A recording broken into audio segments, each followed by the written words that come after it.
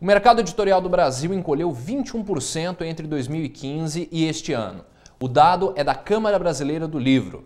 Só em 2018, algumas revistas já consagradas saíram de circulação e importantes livrarias fecharam as portas.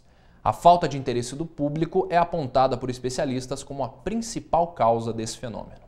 A crise do mercado editorial atinge há algum tempo livrarias e editoras. Somente no ano de 2018, várias revistas como L, Boa Forma, Veja, entre outras, saíram de circulação.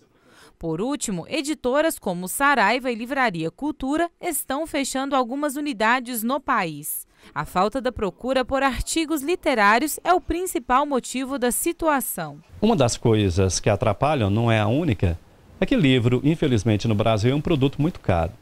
É, muita gente até nem gosta, que não, não gosta que a gente use a palavra produto para livro, mas é assim, o mercado ele encara assim, não está errado não, o livro ele é um produto.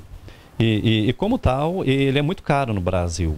Por quatro anos consecutivos, o mercado editorial se manteve em queda. E segundo o escritor, o que pode mudar essa realidade é o interesse pela leitura. Esse hábito de não leitura isso é uma consequência de décadas aqui no, no, no Brasil. Os efeitos estão sendo sentidos agora.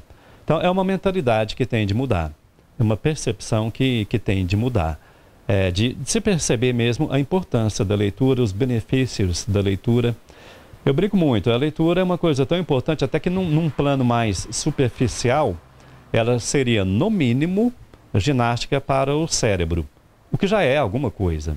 Mas é claro, isso é apenas a camada mais superficial dos benefícios que a leitura proporciona, causa para a gente.